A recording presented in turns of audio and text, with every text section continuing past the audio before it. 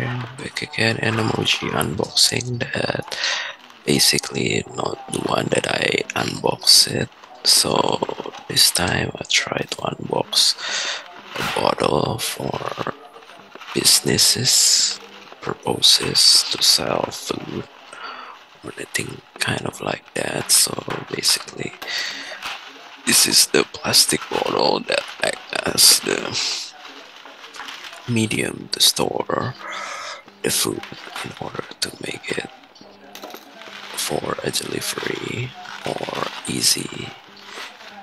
or convenient consume.